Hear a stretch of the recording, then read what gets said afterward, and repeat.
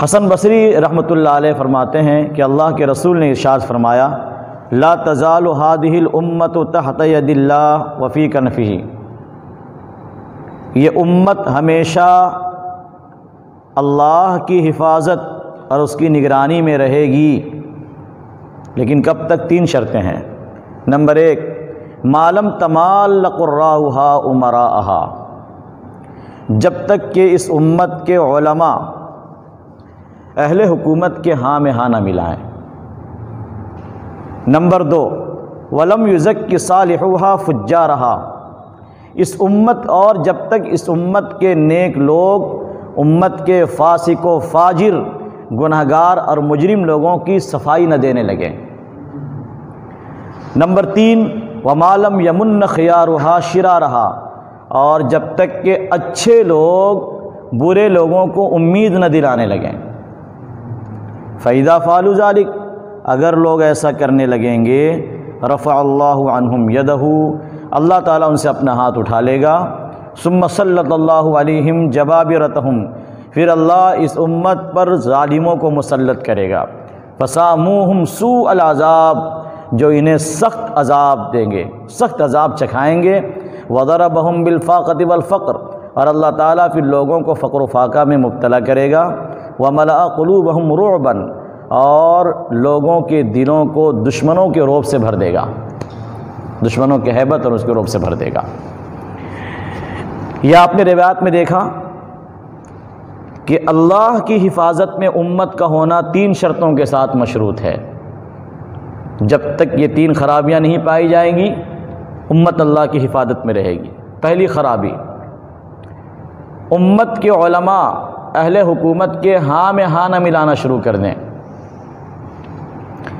अगर ये शक्ल बनेगी तो अल्लाह की हिफाजत उठ जाएगी। चुनानचे आज ये बात बड़ी कसरत से देखी जाती है कि हुकूमत कितनी भी ना हल हो, मगर के एक तबके को ख़रीदा जाता है, जिनका काम ही आता है जिनका काम ही है हुकूमत के हाँ से हाँ मिलाना और उनके तमाम ऐबों पर, ख़राबियों पर, नाकामियों पर पर्दे डालना। और लोगों को यकीन दिलाना कि ये बहुत कामयाब हुकूमत है और हमारी आवाम और हमारे लोग बिल्कुल चैन व अमन और सुकून का सांस ले रहे हैं। इस हुकूमत इस हुकूमत की बका के लिए दुआएँ की जाए। मजलिसें लगाई जाती हैं, दुआएँ कराई जाती है। ऐसे प्रोग्रामों में मौलवी दुआ करते हुए नज़र आते हैं। अभी आपने बहुत कुछ देखा होगा। किसी का बर्थडे मनाया जा रहा है, बदाबतमा दुआ चल रही है। सब कुछ देखा आपने भी दूसरी बात आपने फरमाई, वलम युजक की सालहा फुज्जा रहा उम्मत के नेक लोग बुरे लोगों की सफ़ाई न देने लगें। और बहुत अफसोस की बात है कि ये ख़राबी भी आ गई है। अच्छे खासे जुब्बा, दस्तार, दाढ़ी, दीनदारी सब कुछ है। अब ऐसा करने वाले चाहे ओलमा हों या दूसरे दीनदार हजरात हों, जब वो उम्मत के फुस्सा को फुजार की तारीफ़ करना शुरू कर दें। कि ये बहुत अच्छे लोग हैं, माशाल्लाह। बहुत अच्छे लोग हैं। इनसे लोगों को बड़ा फ़ायदा होता है। तो अल्लाह को कितना गुस्सा आएगा? कि आज ऐसा नहीं होता कि वो सियासतदान, वो सियासी इंसान जिसकी ज़िंदगी अल्लाह के नाफरमानियों से पुर है, जिसको शरीयत से कोई ताल्लुक़ नहीं है, वो इस तरह के मौलवियों को अपने रोब दबदबे की वजह से कह लीजिए या दो पैसे की लालच में कह लीजिए, अपने स्टेज पे बुलाता है और तायद करवाता है। मेंबर से कभी कहलवा देता है अपने बारे में। हमारे बारे में ऐलान कर दिया लोग मुझे ही वोट दें। और वालिम दीन ऐसे फासिक व फाजिर की खूबियाँ बयान करता है कि भाई बहुत अच्छे हैं, इन्हीं को वोट दिया जाए और ये ये सब तो अपने माशरे में हम देख रहे हैं। इसकी, इससे बेहतर मिसाल क्या हो सकती? और ऐसे अल्लाह इनको हिदायत दे ये अपने मकाम व मरतबे से इतने नीचे गिर जाते हैं कि ऐसे फुस्सा को फुजार से जुड़ने को अपने लिए एक हैसियत समझते हैं कि हमारी कोई हैसियत बन गई है, क्योंकि हमारा फना से ताल्लुक़ है। पिछले हफ़्ते में ये रिवायत गुजरी है कि जब अल्लाह की नस्बत की अज़मत दिल से निकल जाए,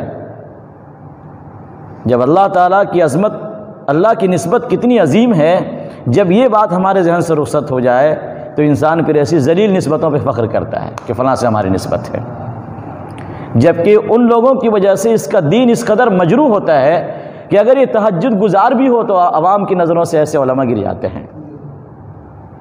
वो फिर वो तस्वीर और दूसरी चीज़ें काम नहीं आती। और तीसरी बात आपने क्या बताई? वमालम यमुन खिया रुहा शिरा रहा इस उम्मत के अच्छे लोग, बुरे लोगों को उम्मीदें न दिलाएँ जब तक। ये उम्मीद दिलाना क्या है? हज़रत मुफ्ती शुएबुल्ला खान साहब जीदा मईदुल आली ने यहाँ पर अहतमाल के तौर पर ज़िक्र किया है कि गालिबा ये कहा जा सकता है कि जब कोई फासिक व फाजिर सियासी इंसान अपने वोट के लिए जगह जगह चक्कर लगा रहा हो, वही मिसाल फिर?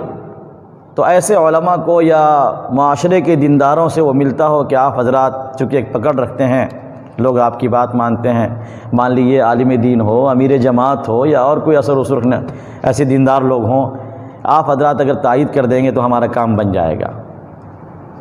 अब वो भरोसा दिलाते हैं कि बिल्कुल आप बेफिक्र रहिए, हम आपके लिए काम कर रहे हैं, हम पूरी कोशिश करेंगे। कि आप ही जीतें आप ही की हुकूमत आए, हम सब खुश हैं। तो इस तरीके से उम्मीद दिलाना।